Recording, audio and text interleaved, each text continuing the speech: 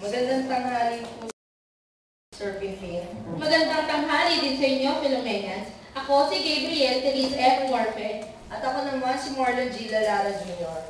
Kami ang inyong host para sa Tanong Puti Bago natin simulan ang programa, maaari ba natin tawagin sina Binibining Bena Recto at Binibining Joyce Ann Jimenez para sa ating opening prayer at upang hinirap.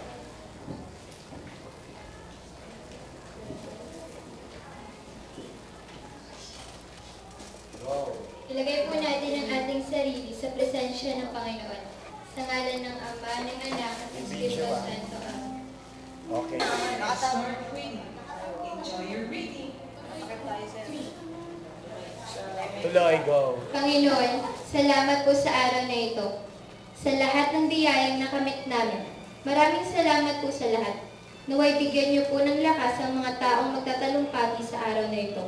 Naway maunawaan po ng ating mga kababayan ang bawat pahayag na ibibigay ng ating mga presidente. At sana po ay maging maayos ang magaganap na talumpatian sa araw na ito. Sa ngalan ng Ama, ng Anak,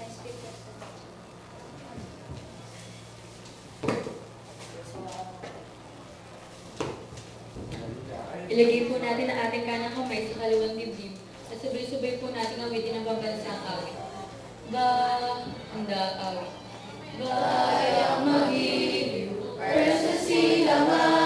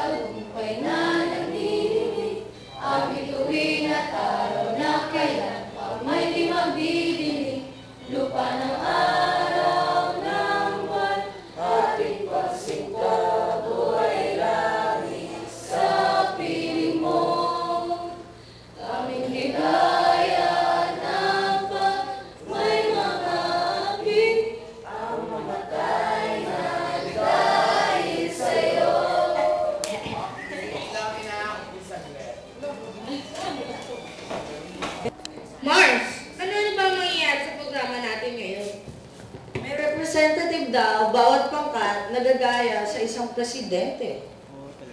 At at ng pati. Ah, ano pa? Yun lang ba? Siyempre, there's more, Gabi. Meron ding kakanta, sasayaw, at magpe-piano. Pop naman, nakaka-excite. Naman, o ano, simulan na natin? I-welcome nating lahat ang unang grupo na magpapakitang gila sa pagkanta, ang Boys.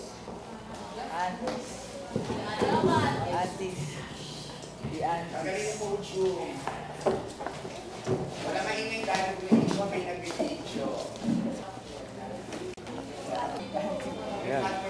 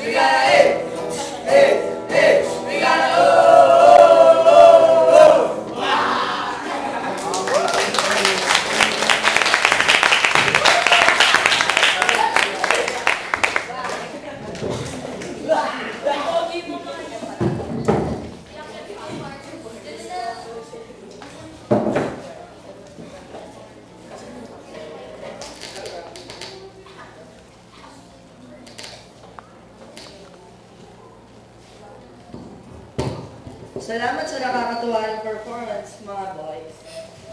Handa na ba kayo makinig sa mga pati? Dapat na, dahil ito na si Mr. Marvin Davis na nagmula sa, ik- sa ikaunang grupo at gaganap bilang Joseph Estrada.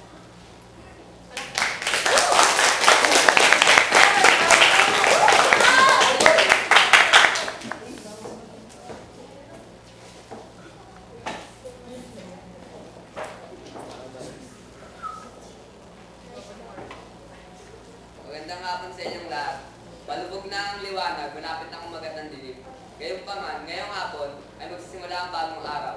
Ang araw ng lahing Pilipino, ang araw ng masang Pilipino. Kami na nandigan sa ating bansa. Ngayon na, sapagkat ang inaarap ng ating bansa ay lublang, lubang malalim, lubang mabigat.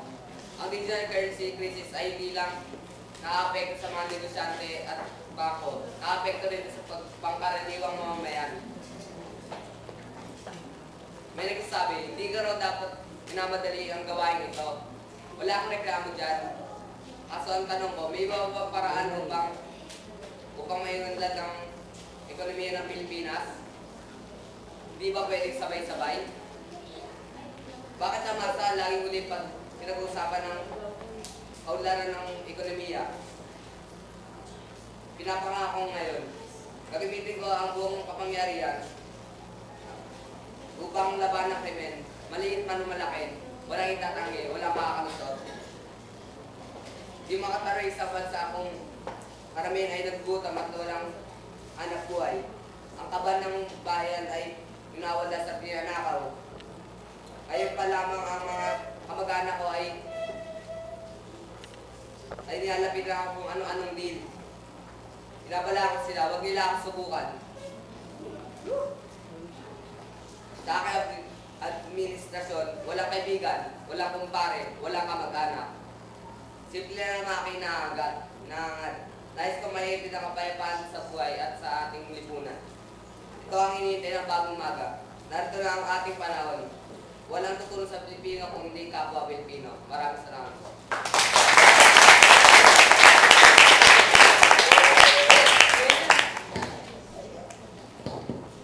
Salamat, Marvin. Sunod natin yung si Mr. Jonas Bueno nang galing naman sa ikalawang pangkat nagdadala bilang Benigno Sinodus. Walang pakatulong.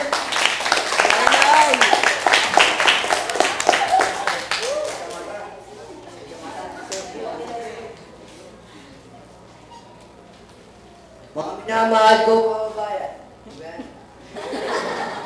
Sa bawat sandali ng pamamahala, ay, ay ang Pilipinas ay naharap sa sa, sa, sa sanggadaan. Sa isang banda ay ang ang tuwing dalandas at sa kabilang banda ay ang ang balok ng kadaan. Isang ba, sa sa sa tuwing na daan ng pagpili sa pagpili sa ikabubuti ng taong bayan at at na sa na sa ba- balok na daan naman ay ay pag-una sa, sa interes ng iba. Tulad tulad na tulad ng to, dito makatarungan. Dahil dahil dahil, dahil ang, ang mga pulis ay kumukuha ng kumukuha ng kahon ng pera sa mga taxi driver o kaya ng mga driver para para umunta na sila. Hindi nila iniisip ang sarili nila.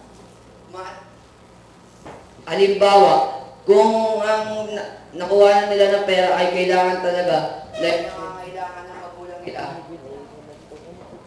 parang hindi naman ito makatarungan.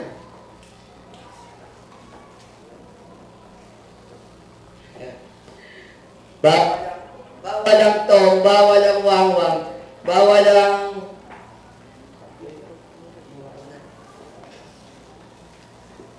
bawal ang tong, bawal ang wangwang. Ayo ang boss ko. Ang ang ang mandato ng ating na- makuha sa uling eleksyon ay patunay na umaasa sa- pa rin sa Pilipino ang pagbabago. Di pinakuling pangarap.